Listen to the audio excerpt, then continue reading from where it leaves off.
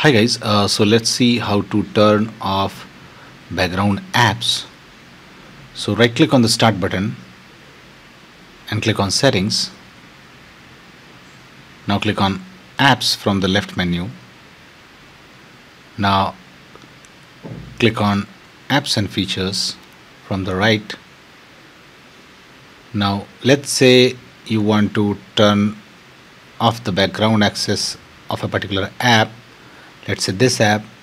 So just click on these three dots.